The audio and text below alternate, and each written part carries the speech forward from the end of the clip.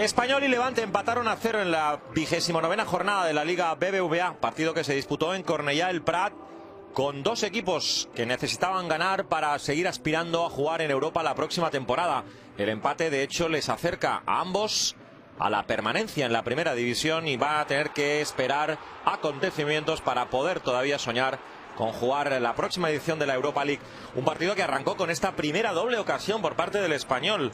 Remate a bocajarro de Héctor Moreno, buena intervención de Keylor Navas y dos posibilidades que tiene Sergio García para poner a prueba al guardameta costarricense.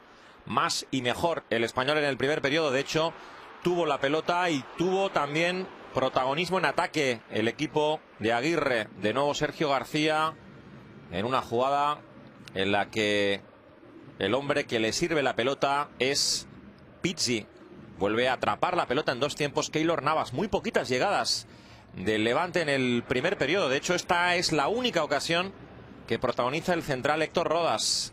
Había sido protagonista también Rodas en acciones defensivas de su equipo y tuvo esa oportunidad para marcar el 0 a 1 ya en el segundo periodo. Partido más equilibrado, más parejo, de ida y vuelta y también eh, más emocionante. De hecho, esta es la primera gran oportunidad en el arranque de la segunda mitad para el Levante. Un remate de espalda a la portería de David Barral, el ex del Sporting.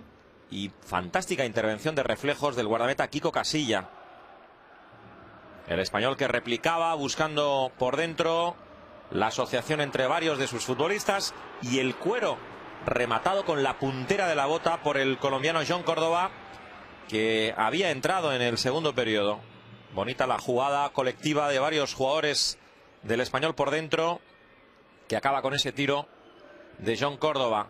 Intercambio de golpes, como decíamos, en el segundo periodo en Cornellà el Prat, con eh, un levante mucho más animado que el de la primera mitad. Aquí el que cuelga es Vintra y vean la que tiene Víctor Casadesus, que también había entrado en el segundo periodo y que acabaría abandonando el partido en el minuto 87 tras ver la roja directa.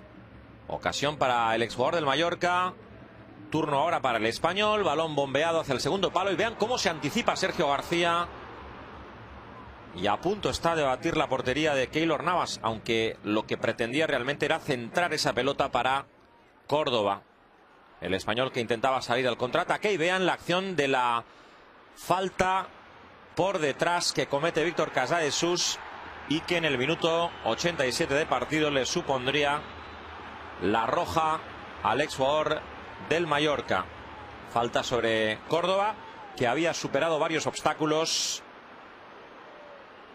y que se iba hacia el costado derecho de ataque del español. Aquí le intenta parar el Adoua, pero es finalmente Víctor Casadesus el que le caza por detrás. Segunda expulsión de Víctor con el Levante en los pocos partidos que lleva con el equipo del Ciudad de Valencia. Una de las últimas ya del partido, el remate de cabeza de Stuani que se va por encima del larguero. Al final reparto de puntos en Cornellà el Prat.